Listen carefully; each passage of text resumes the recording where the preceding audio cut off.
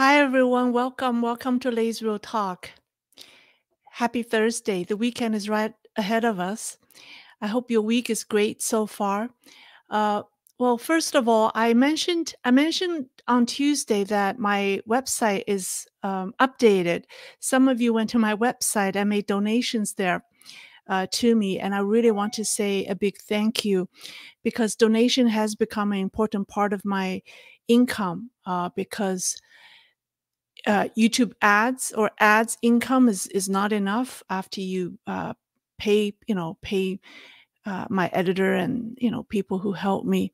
So I really want to say a big thank you to those of you who uh, made who have been or who have been making donations to me. All right, so we have a big topic ahead of us. Um, I almost get a headache, you know, thinking thinking about how to present this subject to you uh, tonight. So the topic is um, amid the internal chaos, particularly particularly the ones within the PLA, has Beijing changed its strategy for taking over Taiwan, or is the war is the plan for a war um, being delayed? So what we have seen in the past couple of weeks um, are one, China's defense minister has been missing. The leadership of the, P, uh, the PLA's rocket force, strategic support force, and the equipment development de department are being investigated, and some of the leaders are being disciplined. Now, rumors that the head of uh, the Military Discipline and Inspection Commission is also in trouble, and I'll share with uh, share that information with you in a in a short while. Uh, now, with the status of a number of Central Military Commission uh, in question uh, or uncertain, and so many top generals being removed or sacked, has Xi Jinping been, uh, or is Xi Jinping being forced to change his strategy for to take over Taiwan? And is the risk of war in the Taiwan Strait as high as before. Um, can people hear me all right?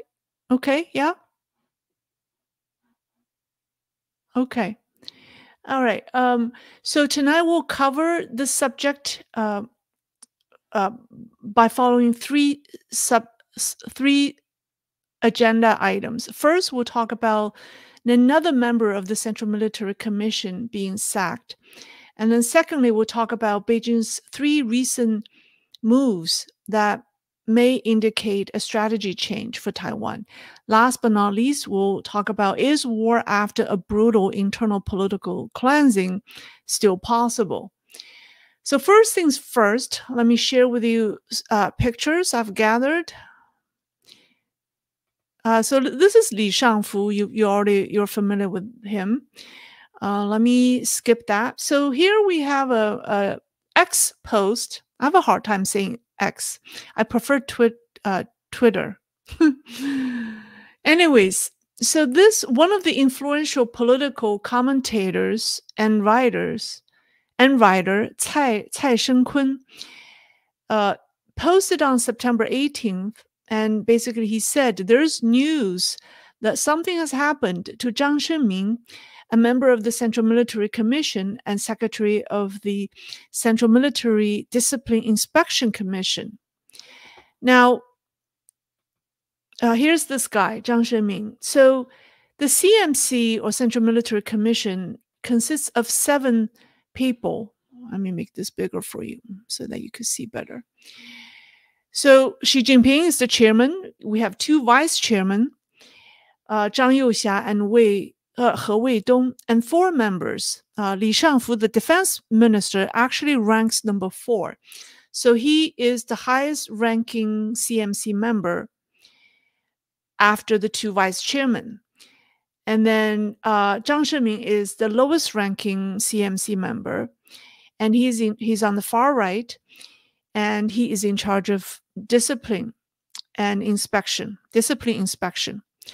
So I circled the three guys that I talked about uh, on Tuesday who were missing from a key uh, PLA training session on September the 15th, right? The fact that Li Shangfu, Zhang Youxia, and Liu Zhenli, um, the guy who is the chief of staff of Joint Staff Department, um, all three were missing from that important meeting. So I, you know, the the the the green bubble on the left uh, are the three guys that I talked about on Tuesday. Now here's the fourth guy.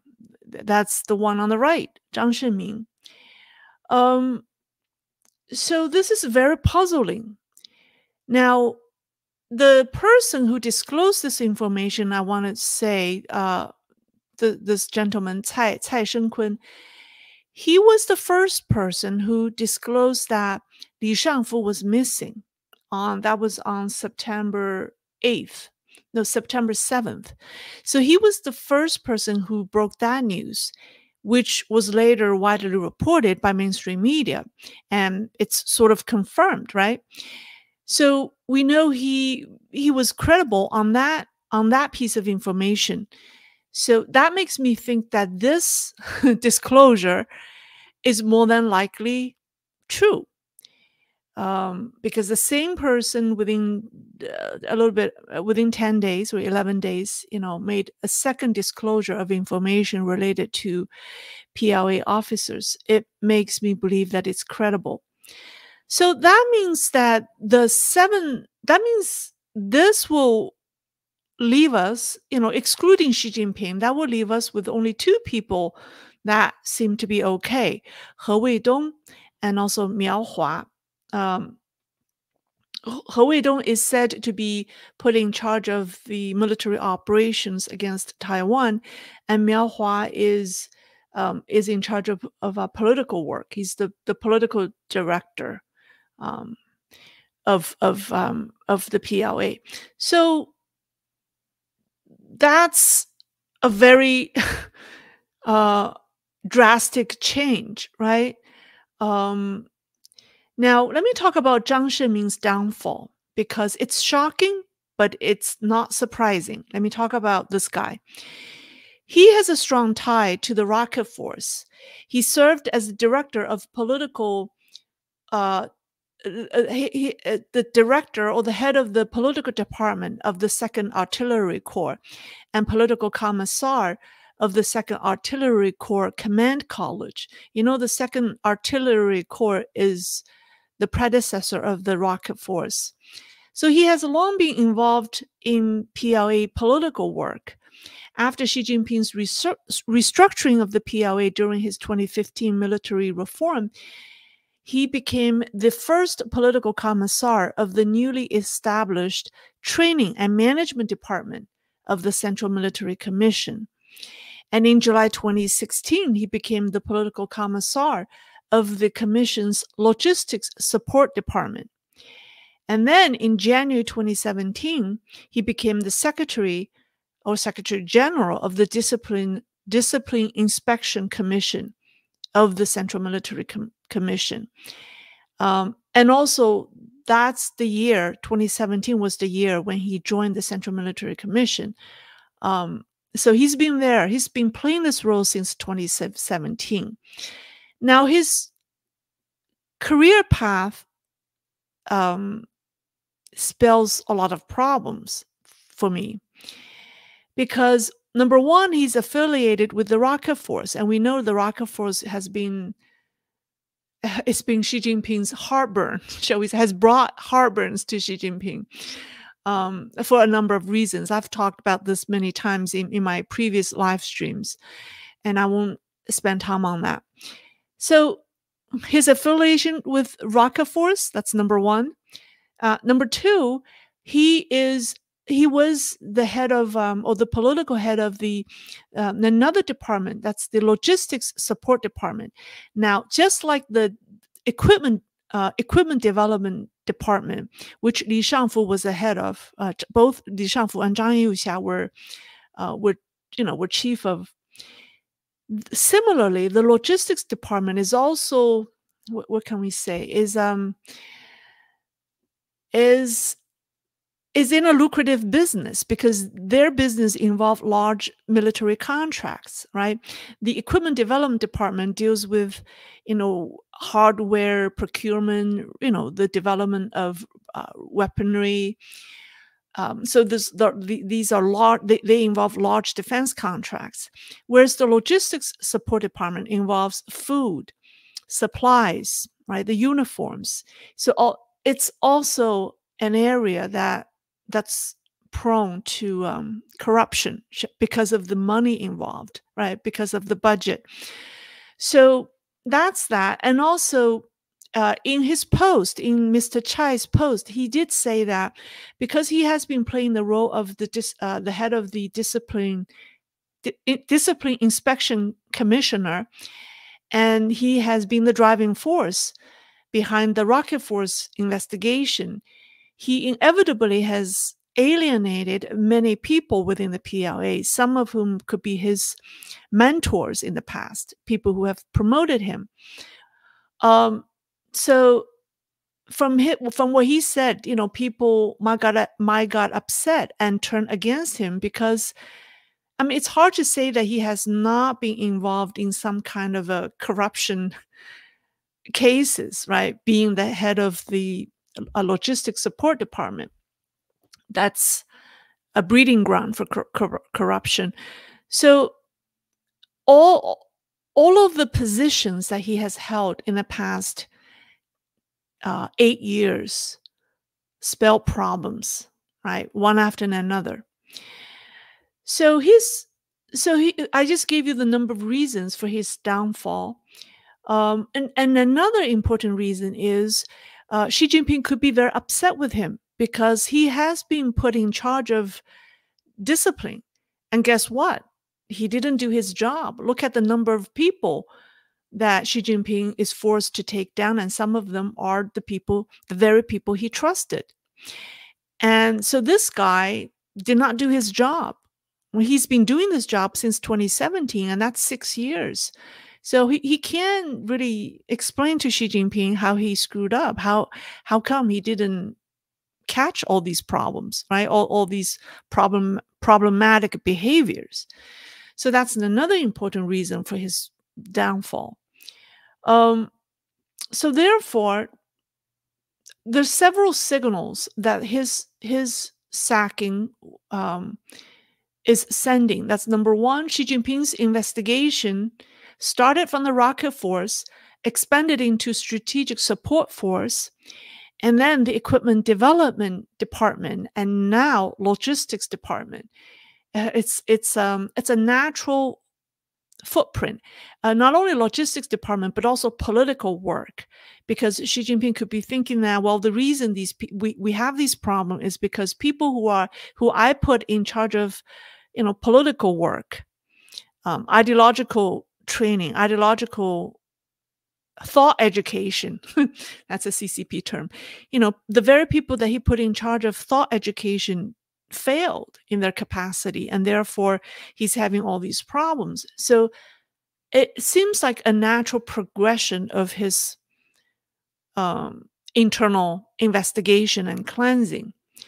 However, if you look at all the departments that he's touching, they are all important functions to support the PLA in time of war, right?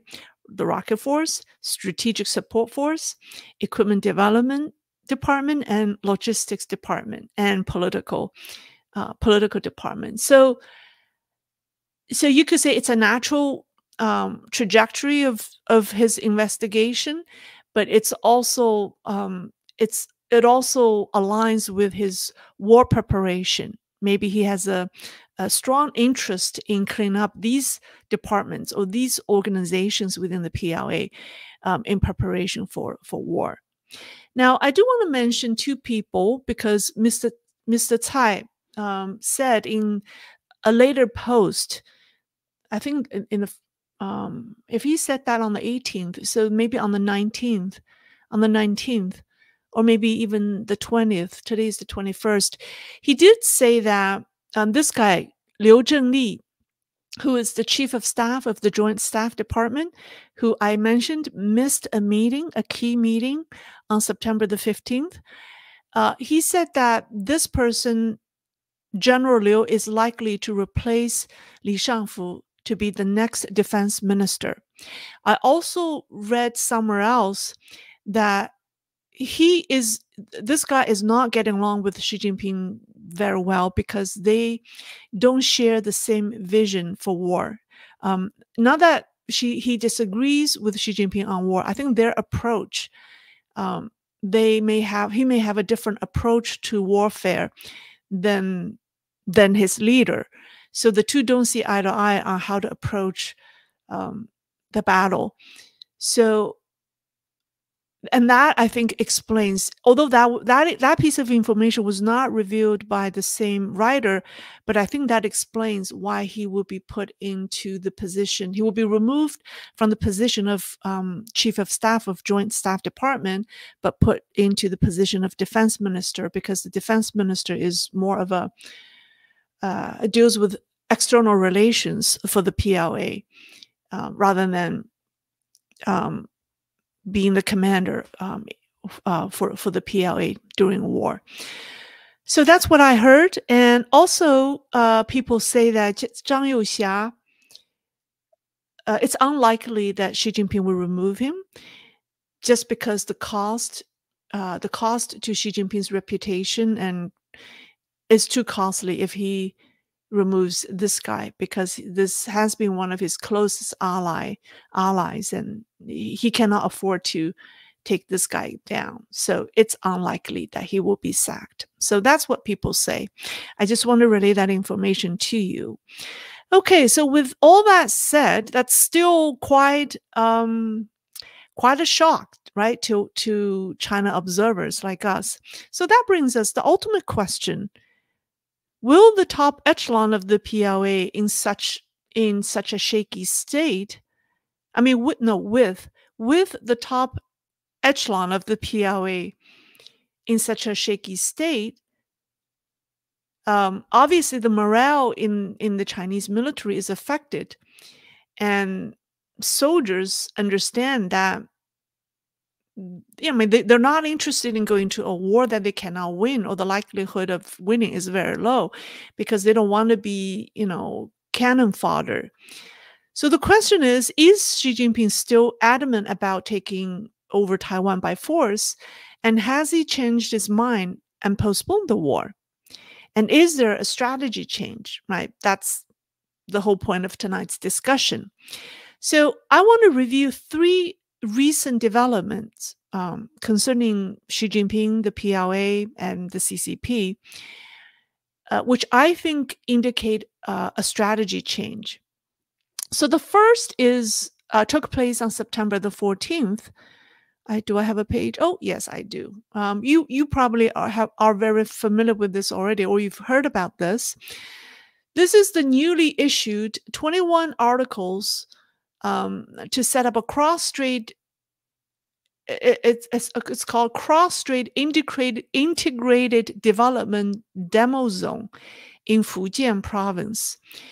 Um, and it's called the opinion on supporting Fujian to explore new paths of, of cross-strait integration and development and build a cross-strait integration development demonstration area, demo area. Like, I think by demo they mean, uh, what do you call that? Pilot, pilot, yeah, pilot project. the Chinese say demo, and here we say pilot project. All right, and and the document is quite long, but the full highlights are I put them here that they're um, they want to create a, a, a first choice destination in Fujian for Taiwanese, and they want to create a deeper economic integration between Taiwan and Fujian, and it's a whole province integration, meaning all of Fujian, and they want to encourage people to people exchanges right? And if you if, if you read if i read you some of the wording i mean it sounds very um propaganda-ish. Um let me just read you something uh, here it says um it says including okay basically includes six major items and 21 articles including facilitating the life of taiwanese compatriots in fujian abolishing the registration of taiwan compatriots for temporary residence in fujian and encouraging taiwanese compatriots to apply for china issued taiwan resident permit. Um, and it says that fujian will be the first home for Taiwanese compatriots and enterprises on the, main, on the mainland so that Taiwanese people can fully feel the benefits of integration and the affinity between Fujian and Taiwan. When I read that, I'm just like, wow, what, what a great piece of propaganda it is. so it's lacking, I mean, it, it's it's a propaganda piece and it's lacking substance. Um, so so that I think, uh, or for example, some of the some of the integration area, uh, like Xiamen and Jinmen, right? Xiamen is on the mainland side, and Jinmen is is part of Taiwan, and they're so close to each other, so that can be like combined as a as a integration zone, and so that will effectively, um, what's that word? Um, sorry, that word just slipped my mind. So that would be effectively, you know, occupying Jinmen, right? Xiamen and Jinmen, and then Fuzhou and Mazu are also very uh, closely. So this could be CCP's um, tactic to take over those two Taiwanese islands. Anyways, so I think Xi Jinping, I think this plan is a propaganda work to work on the Taiwanese psychologically. Um, I think Xi Jinping has not given up his plan to take over Taiwan, but his strategy has changed. He knows the PLA isn't in its best shape to go to war. Uh, rather than confronting the United States and its allies um, on the battlefield, I think the CCP wants to rely heavily on cognitive warfare and information warfare to break Taiwan from within. And this has always been CCP's top strategy uh, because it's what what they do the best, right? What it does the best. But Xi Jinping and his advisors have realized that it's probably their best chance to win if they're serious about war. Um, now, using cognitive warfare to convince Taiwanese, what does that mean? Like, what's this cognitive warfare? It's basically convincing the Taiwanese that the mainland isn't bad and the two sides can integrate into one system. Um, so, and this strategy is a two pronged approach. One is to continue to threaten Taiwanese with force to instill a psychological fear so that they want to give up. And, and the other is to show them a way out by saying, we can integrate, you know, come over, you know, come over to Fujian and we'll, we'll, you'll see how well we will mingle, right? Let's build a, uh, let's build a pilot area.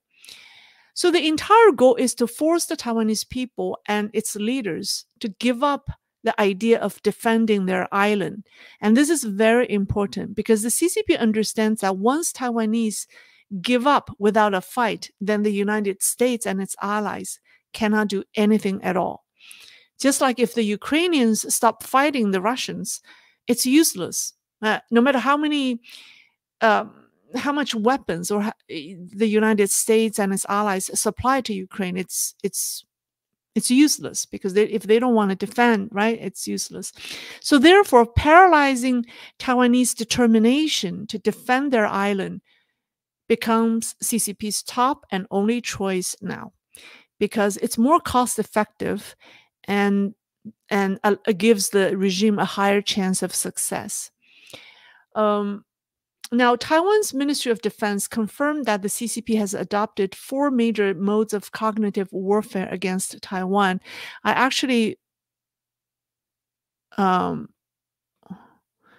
oh yeah, here sorry i just want to show you this this is a report actually from 2020 and recently i read that the eh, well first of all this report was from 2020 and it mentioned this four approach that CCP uses. Um, and so it has an outreach mode, um, and it's controlled by the central government, and uh, it, it's it, it targets the general ta- ta- general sorry general audience, and it, the infrastructure is through TV, radio, uh, and then the little pink mode, uh, and then has a content farm mode and then collaboration mode. So it, kind of explains the the four different types of operation.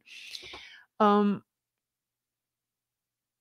so this this is something the CCP I, I, I brought this up because this is something that the CCP has been actively uh, rolling out because they want to use this to influence the 2024 Taiwanese election, and uh, it's just that they are going to step up its effort in this area. So we will see this even more. Um, so that's the first event I, I want to mention. Uh, with what I with that said, now it's not difficult to understand the other two development developments in the last week or two. I think last two weeks. So let me talk about the other two events. The second event um, has to do with the PLA. So here you have a map. The Taiwan uh, military announced that a total of 103 PLA aircraft and nine warships operated in the vicinity of the Taiwan Strait in the 24 hours from September 17th to the morning of September the 18th.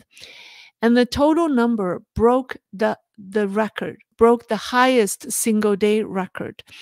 So this this is their map, and um, the different types of PLA air uh, warship aircraft is uh, is barcoded in different colors. So you have um, the the red is the S um, Su Su thirty fighter jets. So the different type of um, fighter jets, you know, J ten, J eleven.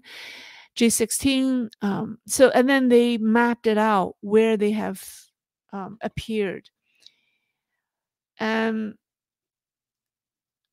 and also 40 times, of that 40 times, out of the 103, they crossed the medium line or the mid mid line in the Taiwan Strait 40 times.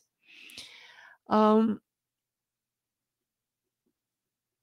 hold on, I'm sorry. Yeah, yeah, f- no, 40 flights crossed the center line of the Taiwan Strait and entered Taiwan's um, southwest and southeast airspace. Um, this move achieves three goals for the CCP. One, it's to escalate threat to instill fear in Taiwanese, with the ultimate goal of breaking their will to defend their island. And two, goal number two is to cover up the myriad of internal chaos to save the face for the Chinese PLA, right? We've just talked about that. It's to save their face.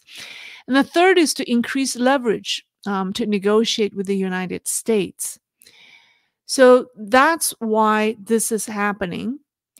And the third event is related to Xi Jinping. Um, so here's a news report from CCTV, and it it reports that on this news report is from the 19th and it reports on it says on September 12th Xi Jinping replied to a letter from the chairman of the Sino-American Aviation Heritage Foundation Jeffrey Greene and the Flying Tigers veterans Henry Moyer and Mel McMullen.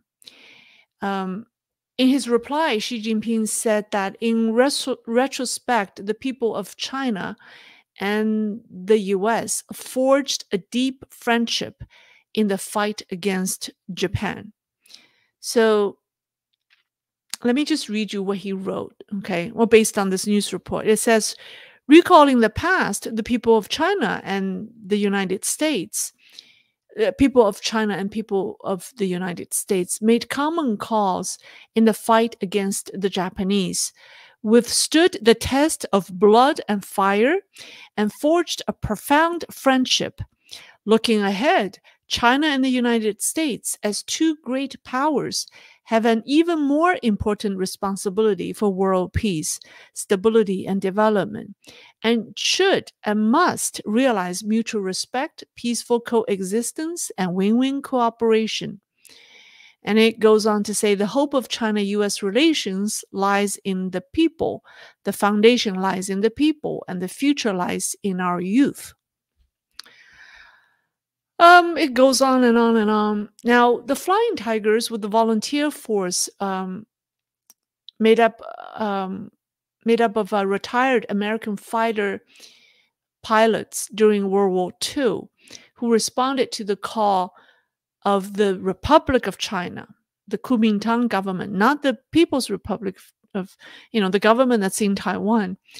So it was to respond their call to help China fight against uh, the Japanese invasion. Um, and and this is very interesting that Xi Jinping wrote a letter to respond to that.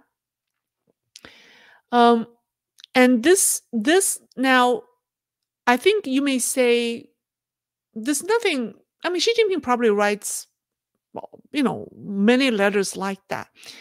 But the fact that CCTV and Xinhua published his letter um, is sending a message, right?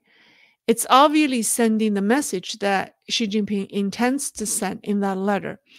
And it's, to me, that letter strikes a, a softer tone than the messages the CCP has been sending uh, when addressing the United States. It's a much softer tone and talks about deeper or profound friendship mutual respect, blah, blah, blah. So, and I think this is this tells me that it's consistent with that strategy change. So now that uh, Xi and his advisors wants to want to downplay the, the, uh, the, you know the war or the military operations, they want to um, you know appear a little gentle with the with the Biden administration because after all, you know, um, they want to, you know, they want to create a situation where they can take Taiwan from within, without having a war with the United States. So why, um, you know, why get the Americans? So um, why put them on the, you know, why upset the Americans, right? All right, so let me summarize it quickly before I go to the last point. So the CCP is using a two-pronged approach to one, increase its military threat over, over Taiwan with the hope that the Taiwanese will be intimidated, and two, roll out a friendly welcome to Fujian and welcome home type of program as a solution, as alternative for the Taiwanese. And starting integrating Taiwan to be part of the mainland is its you know is is its strategy um, what it wants to do is create a reality, make Taiwanese realize it's already a reality. It's sort of like the moving strategy, right? It's like you want to moving with someone, so it's difficult for the other party to to deny the relationship. You know, it's like they just want the they, they want to move in. And so it's a reality. So then Taiwanese cannot say, hey, I don't want to be part of the mainland. Um, we're already living together. So that kind of, I think that's that kind of strategy for a, for a lack of a better way to explain it. So, so meanwhile, CCP will deploy all of its assets in Taiwan, trying to influence public opinion, to make politicians accept Beijing's um, recommendation or option or suggestions, right? Um, I think the 2024 Taiwanese election will be a very important indicator um, to to uh, to show how effective CCP's strategy, um, this strategy will be. So, does that mean that we will see no war in the Taiwan Strait? Um, is no. My answer is no. And is war? So then the next question is: Is war after a brutal internal PLA cleansing still possible for, for Xi Jinping and the CCP to pull up, to pull? And the answer, or my answer, is yes. Um, I think the impact of a cognitive warfare will be maximized uh, when CCP use it uh, in combination with some sort of military operations, right? Um, so, and then, but the point that I want to make is so is that there's there's a precedence in another communist country in which a war was won was won after a brutal political cleansing. And the CCP and Xi Jinping are certainly familiar with that, with that anecdote. So now let's talk about um, Joseph Stalin, who started a war with Finland, right? Um, after the infamous the Great Purge. So if you um, let me just go to yeah. So so the Great Purge or the Great Terror it was um, Joseph Stalin's campaign to solidify political power um, by purging other um, influential political uh, opponents or rivals within the Soviet Communist Party. The the entire campaign lasted started from August 1936 to March 1938, but it went through several phases. So let me just give you some numbers. So from the second phase, I think it's maybe the third. I think it's the third phase towards the end. So from July 1937 to October 1938, so within that uh, 15 months, he he he did a very thorough cleansing of of the Red Army. Let me just give you some statistics. It's shocking. So he removed three. When I say removed, uh, I'm not saying bringing people down from their position and lock them up, throw them in prison. It was execution. Okay.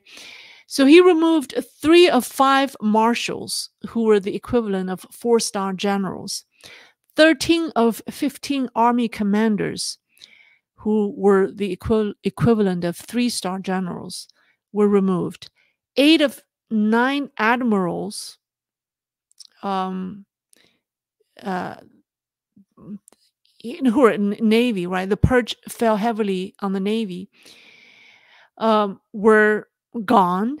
50 of 57 Army Corps commanders, 154 out of 186 division commanders, 16 of 16 Army commissars, and 25 of 28 Army Corps commissars were gone, meaning executed.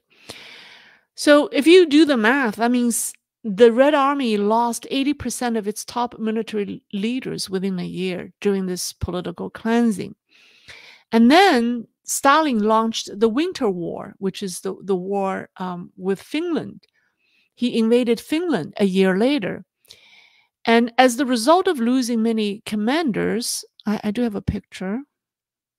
Uh, th these are the Finnish um, military personnel. So, as a result of losing so many military commanders, the Soviets were in complete disarray in the beginning stage of the war. And dis- despite superior military strength, um, they suffered, the Soviets suffered severe losses um, and it initially made little headway. And in terms of the comparison, I mean, the Finnish uh, military was was nowhere near the the Soviet military. Um, the Soviets have an absolute advantage in terms of troops and equipment.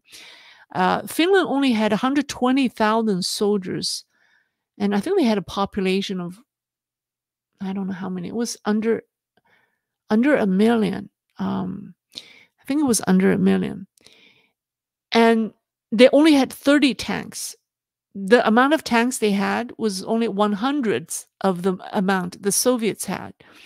So Finnish fishermen and hunters um, took the gun and joined the battle, and, and because of the because the people who were um, commanding the troops I mean, because they lost all these commanders, the Soviets had no coordination between units and no synergy between different types of troops. And the Finnish army quickly recovered from its initial shock. And um, and they knew the terrain well, and in addition to holding, uh, I mean, they basically turned their hunting skills to war, um, and led the Soviet army into deep snow and narrow areas. Um, and then from the beginning of 1940, the Soviets adjusted and improved the coordination. In the end, the end results. Okay, so here, oh, here is a the the Finnish the fishermen and and hunters. You know, they wore these white um, ski. I mean, they use their ski gears. They wear they wear these white uniform, so they blend in with the environment, um, and and got protected that way. Whereas the the the Red Army, you know, didn't have that kind of gears. So so I thought that was very interesting. But in the end, the war ended uh, three and a half months later with the Moscow Peace Treaty um, signed on March 13th, 1940. In the end, uh, here's, here's a map. Finland's territorial concession to the Soviet Union is shown in this red area. Um, Finland lost or, or uh, gave about 9% of its territory, uh, which represents about 13% of its economic resources. Some people say, I see different numbers. Some say uh, gave 11% of its territory and 30% of its economic resources. I don't, I don't know, but I think 9 and 13% sounds more reasonable.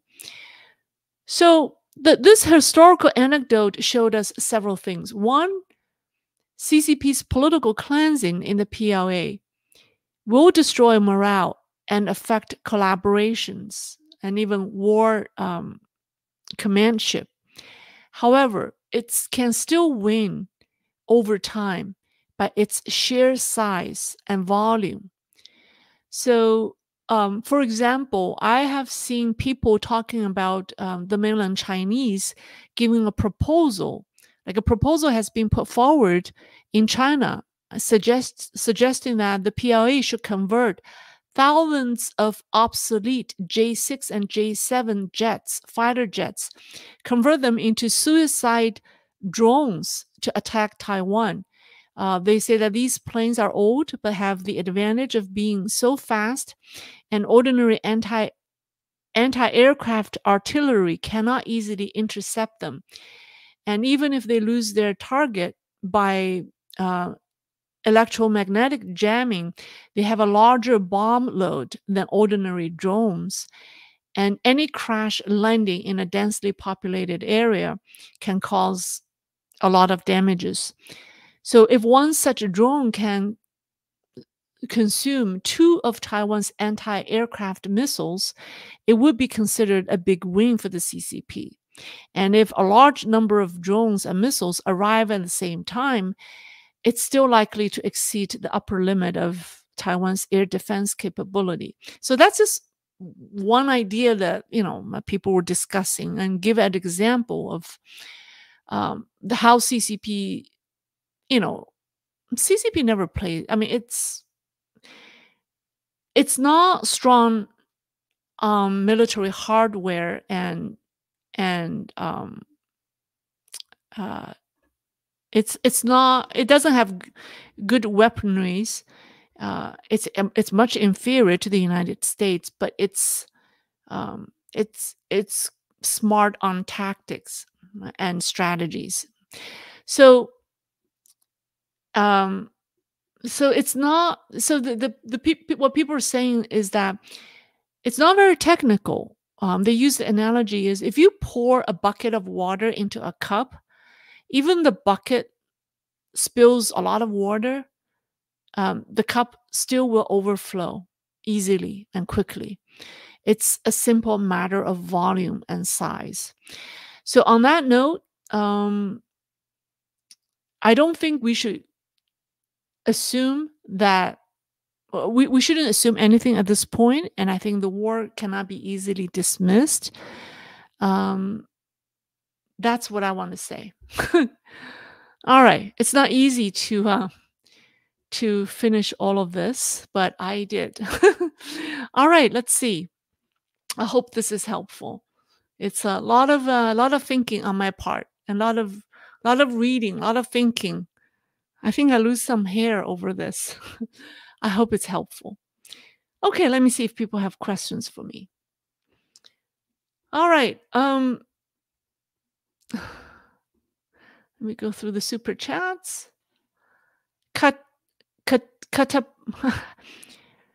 Catalpa, Catalpa Rescue. Thank you. Thank you for the donation. Keep fighting the good fight, Lei. You are doing a great job. Well, thank you. Thank you very much. I appreciate that. All right, let's see. Um, let me go through the super chats real fast. If you have questions for me, put my name in front so I know it's addressed to me. Um, um, scrolling scrolling really fast to see if there are super chat questions.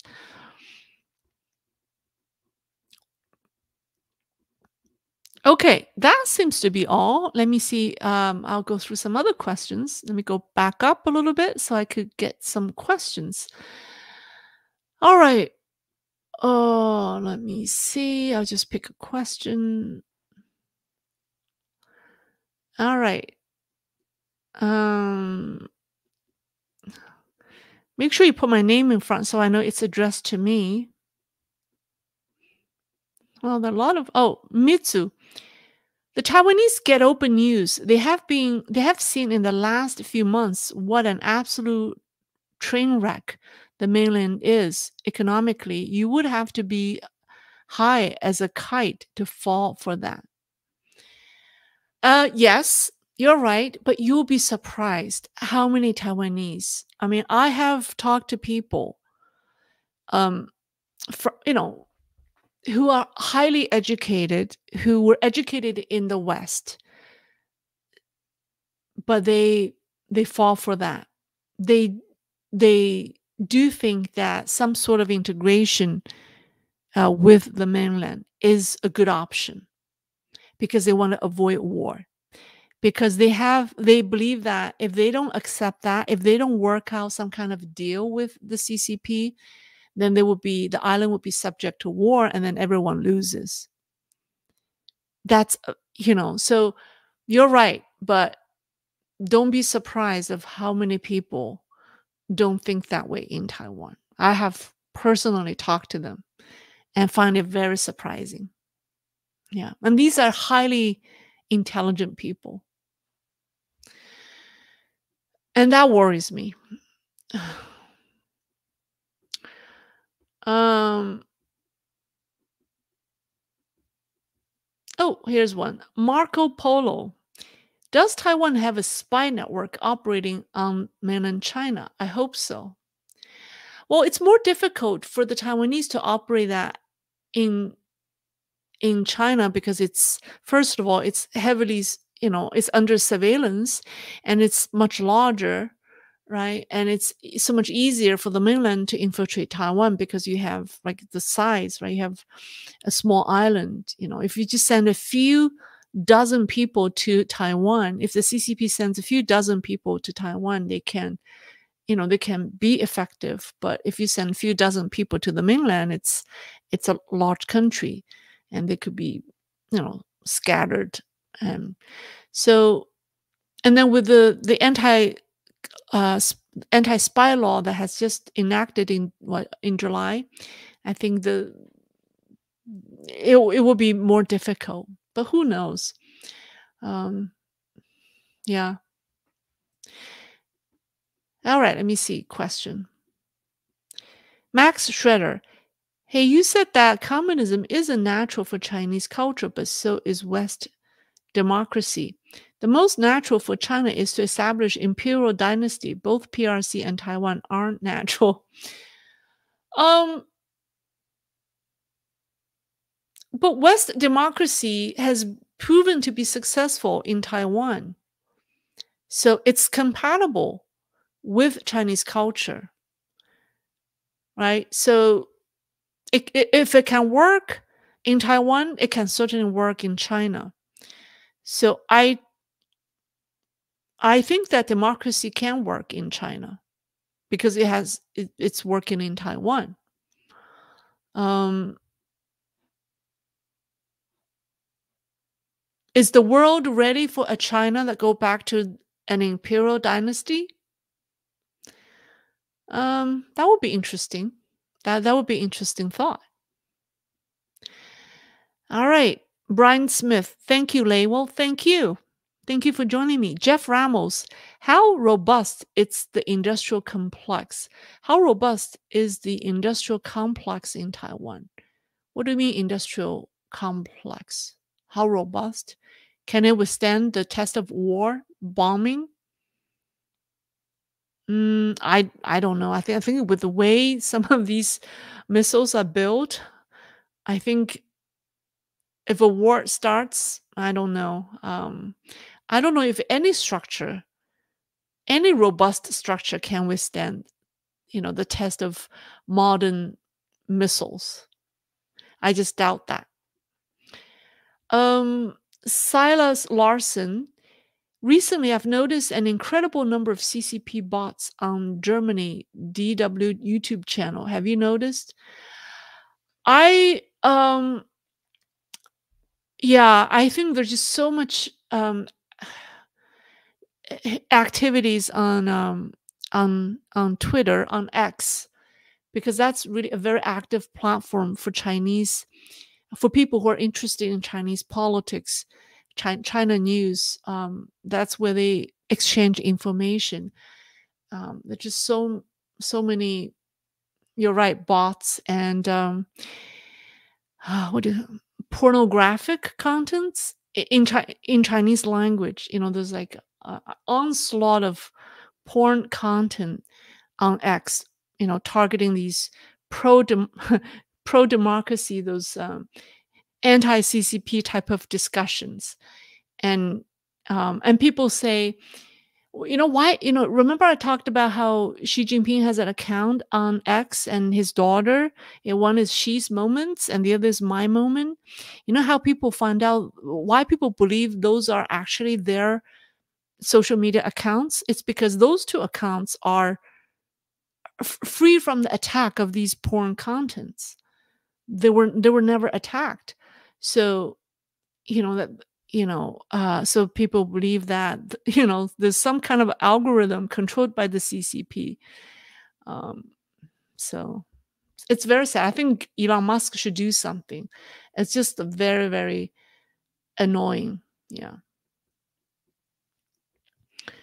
Mark Pollard, do you think Xi would be smart to start starving the US of consumer goods before starting the war? Starving the US of consumer goods before starting the war. Consumer goods. I don't think so because that, that then we will both be starving. We will be starving. I think the Chinese will starve even more because then that their their workers will lose job. They, they will lose a significant amount of their manufacturing jobs. Um, that that's even more dangerous. Suppose the Americans won't have access to these cheap made in China products. How much would that affect our lives? Let's say we can't buy Christmas lights anymore, but everyone has so many Christmas lights at home, right? And say we can buy these some cheap utensils here and there. I mean, I don't think it will affect our lives so much. It may affect some people, but overall, it's okay. People can manage. And I think we have too many of everything at home. um, but then it will starve a lot of Chinese if that were to happen. So I don't think it, I don't think he would do that. Um, um, let me see. Uh, let me see. Uh, questions. Jonathan Doe. Am I right thinking the Taiwanese are voting for a new prime minister in January? Uh, they're voting for a new president in January. Not prime minister, the president of China. Alpha Lima. Like, if CCP crumbles, does government come from Taiwan? If CCP crumbles, does government come from Taiwan?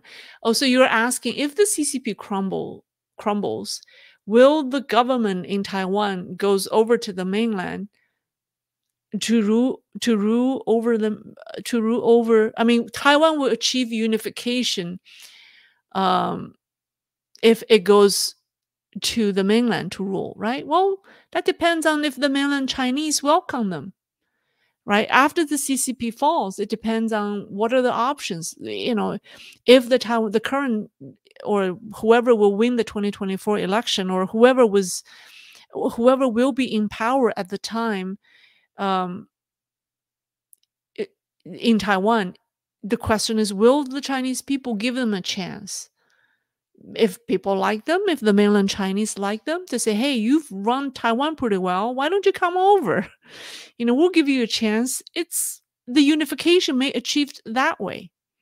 It certainly can happen. And I and I think it's a very, very benign way to achieve, you know, unification. Um, and and certainly it's better than war of any kind. Ptolemy Ptolomeo Salamanca Lei, if the PRC falls like the Soviet Union, what would likely be the move the Taiwanese government? Like I said, I I think they should talk to the Chinese people on the mainland directly to say, give us a chance, um, give us a chance. Uh, if we don't do if we don't do a good job, you could vote us out of office in four years, but give us a chance. You know, we managed, you know, Taiwan uh, both parties can go to go to mainland China. The Kuomintang, the DPP, you know, whatever. I mean, Taiwan has a number of political parties. They can all go to China and uh, run for election and see who the Chinese people like. And they may run against with other Chinese politicians or Chinese visionaries who want to uh, run for office. It's all possible. You know, why not? I think that would be a lovely picture to see. Um, Jason Angle, Lei, do you think the most people who live in Taiwan like me share my view and will gladly take up an AR-15 and Stinger system to splatter invading little emperors? My Taiwan friends surely will. Well, I certainly admire your courage and bravery. Um, and I think I do agree that many, many Taiwanese think like you do. But sadly, are all Taiwanese politicians think like you do? I do not believe so. So, are all the elites think like you do? Um, because they have more at stake, right? And and the CCP is very good at influencing them. You know, the CCP is very good at influencing a few people uh, that seem to be in control, and they're they're good at influencing the election. So, um, yeah, so that's what I worry. All right, let me take a question from someone who hasn't who I haven't answered. Sam G. Lei, how many CCP troops would defect if they had the chance? Um, you have to understand people living in China, they live in fear because it's if they defect uh, they have to be successful or they will lose their life and their family may be affected. So it's a it's a life and death situation for them. The the the stake is very high. Um, so i can't really answer that question. I think it's just um very high stake for them I saw I have to tell you this this post that I saw and it's so insightful and it's so funny and it's written in Chinese. It says um uh what does it say? It says all the okay all the high all the officials worry whether or not if they'll have a job the next day and all the middle class people worry if they will still have a house the next day and the all the people at the bottom of the social strata worry how they're going to make the living the next day. Everyone worries and yet they're all waiting for something to happen. They don't know what they're waiting for. They're not even sure if what they're waiting for will happen but they're all waiting for something to happen and they all sense that something will happen. I think it's so true it's so well said. I mean, that's exactly what's happening in China. um, I'm glad that I, I remember that. Yeah. So you asked me how many troops would defect. I think there everyone is thinking the same thing. Everyone is but they but they all but the certain amount the fear is still tremendous. It's still uh, a totalitarian regime, right? So all right. Um Rob Hulk, like, are there any plans to build a a, turn, a tunnel a tunnel between Taiwan and the mainland? I hope not. Um, I hope not. Why? Why build a? It's, it would be so costly. I think Taiwan is not interested in building a tunnel with the mainland. Um, um, let me see. Thomas Waldron how would CCP react if the full Quad alliance stands together, having India knock on the back door should remind Xi how Germany fared with a two front war? Um, I think I think these these alliances certainly uh, these alliances does have an effect on the CCP, but I don't think they can play that big of an effect uh, in time of war because the CCP understands the West, the Western countries have rules to follow, and they are de democratically elected government, and they don't like to prolong war, and they are afraid to lose human life, and the CCP, on the other hand, does not care about human casualty it does not mind human suffering, and it could do anything as long it, it wins war. So, um, I don't know how effective these alliances. If it makes the West feel good, oh, we have alliances, but like I said, diplomacy does not work for hooligans. you know, diplomacies work for gentlemen so when you when you have a, a whole a whole alliance of a gentlemanly alliance how effective is that to deal with a, a crazy hooligan who's who's reckless? I don't know how effective that is right? So I know it makes Western politicians, Western heads of state feel very good, feel accomplishing that they have built an alliance to contain the CCP, to um, how to say, build a, a small yard, high fences, um, to de-risk.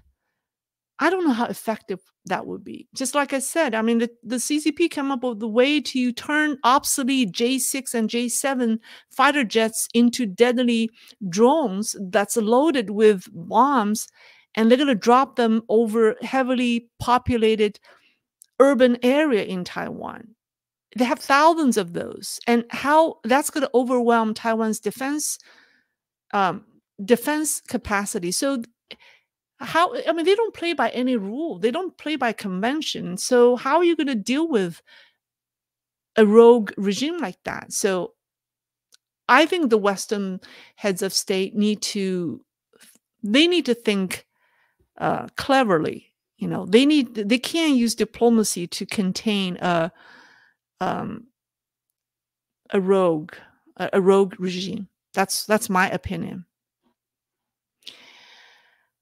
Um, let me see. From um, um from Haroslav Hensley. Um, do you believe many CCP members want democrat democratization instead? China skipped the 1989. That would explain the recent cleansing.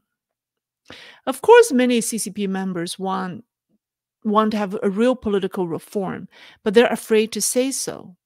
I mean, like I said, every Chinese are thinking the same thing in their mind. They all know something is going to change. They're just afraid to say it because if they do, they'll be rep reprimanded. Hector Allen, thank you for the donation. Uh, wow, I have I have uh, Crunch the Grace Hopper. NHK today reported that China attributed their claims to Japanese-held islands on mistaken GPS data and have relinquished all previous claims. True true or to what effect Taiwan has yet to back off from same. The China attributed their claims. I have not. I have not seen that report yet. But people say I have read reports that the maps. Remember a few weeks ago, China released these controversial maps that caused a lot of um, anger in its neighbors and i read that it's the result it was the result of some political struggle different political factions fought it was the result of some internal political struggle and i thought that was interesting it, it landed in this crazy map. So it's possible that now one faction um, beat down the other faction and now they are um, you know taking it back. They're backing off from the from the map. Dave m republicans are urging biden to invite tsai to the asia pacific economic summit in san francisco.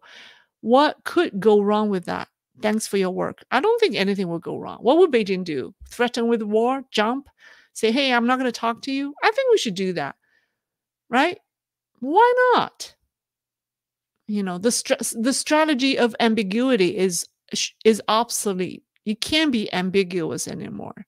You have to take a stand. The the the more clear it is, the more effect you will have. Um, if you want to be ambiguous with a with a hooligan, let's say if, if you have a kid that's throwing a temper tantrum, you want to be ambiguous with that kid, you're losing. You're losing as a parent. You have to be very clear with that kid throwing a temper tantrum, right? You have to explain the rule, explain the consequences, and be very strict and not budge. Once you become ambiguous, forget it. You can't discipline the kid. The kid will do whatever he wants. So I, I think it's so simple. It's such it's so simple when you say it, but I don't know if they see it. So I hope Tsai is invited to APEC in San Francisco. Why not? Just to test it. See how Xi Jinping would react. Just test the water. You have nothing to lose. Anyways, I really love this discussion. Okay. All right. Thank you very much. Oh, for Molly Robin, new to your channel, and I hope you don't stop speaking the truth. I will not. Thank you, Molly, for the for the contribution to my channel. Thank you. All right, I'll take one last question. And I think, wow, I've been talking for one hour and 40 minutes. That's a lot of time. Okay, so Mitsu, uh, last question falls on Mitsu. Uh, it's from Mitsu. Yuan Dynasty map you mentioned being taught to kids on the mainland means that China will try to invade Korea after Taiwan.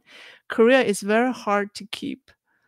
I don't know what they're thinking with that map. Like I said, it's it's it's the result of some political struggle internally, which can cause Xi Jinping dearly. So maybe he's trying to reprimand whoever put that map out and trying to deal with the political, the geopolitical consequences. All right. All right, that's all. Um, thank you very much for joining me. It's great to have you here. Oh, I still have the map on the screen. So let me come back. Thank you very much. And I'll see you hopefully on weekend. Okay, bye bye. Thank you.